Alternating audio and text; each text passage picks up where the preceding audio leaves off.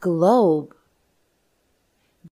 Globe is a model of our planet Earth. Earth is round in shape and we live on the land. We grow different types of food on the land, like fruits, vegetables, pulses, and grains.